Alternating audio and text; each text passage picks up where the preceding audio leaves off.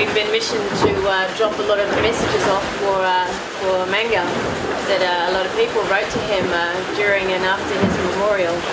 So uh, we have a wreath and uh, we have all the messages printed out from everybody and we're going to put this in the water as we pass Cape Horn. So when Magnus the albatross comes flying by, um, he'll be able to, be able to find all his messages. And,